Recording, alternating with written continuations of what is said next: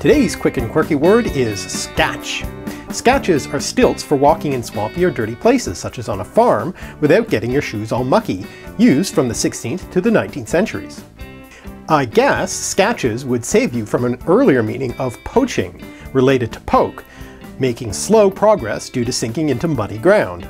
Apparently, the entire town of Landes in France went about their swampy countryside on such stilts in the 19th century. The word scatch comes from French escache or échasse, which is either related to the same root as shake, in the sense of moving quickly, or to the same root as shank, since they are, after all, leg extensions. This French word also came into Dutch as schaats, where it somehow transferred its sense to refer to skates instead.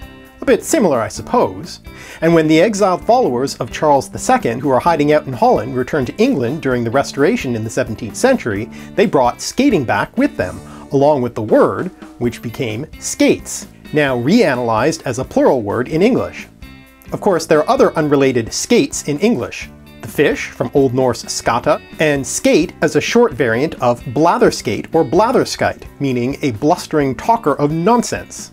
The skate or skite of that word comes from the Proto-Indo-European root ske, meaning cut or split, which also gives us quite a large number of words, including another piece of winter sporting equipment, ski, as well as, well, shit, which you certainly wouldn't want to poach in on a mucky farm. So thank goodness for those scatches.